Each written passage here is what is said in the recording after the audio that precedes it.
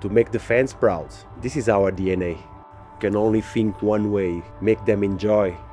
Our philosophy is not only about me, it's about staff, the coaching staff, you, me, everybody around here.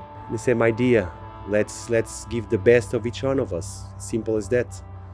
Us, the players, the best of each one of us every moment so we'll be stronger if we genuinely give the best of you the environment will be good to achieve this spirit of unit that we have to be really strong together. First let's prepare ourselves.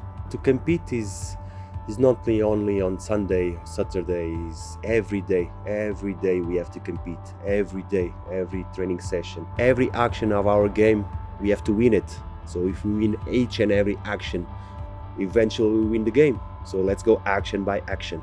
The moment that the preseason starts, um, Monday we have tests, Tuesday and Wednesday we are on the training ground. Mainly of our squad will be here.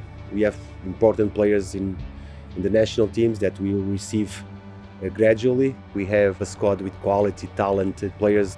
Tottenham Football Club has a good academy, so we can bring them up if they have the talent that I know they have I've been told that we are young and talented players in our academy, but we go step by step. We have to provide them the, the right environment for them to, to develop.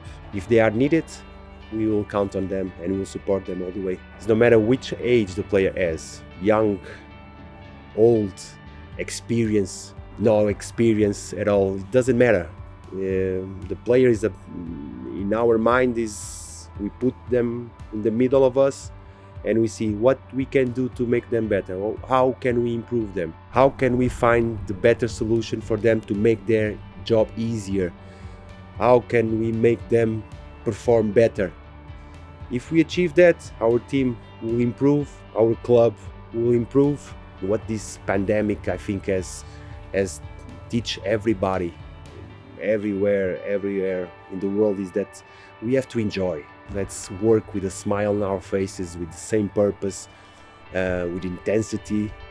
Spurs fans, I'm so happy to be here. And my promise to you, we're gonna make you proud. We're gonna make them proud. We're gonna work so hard.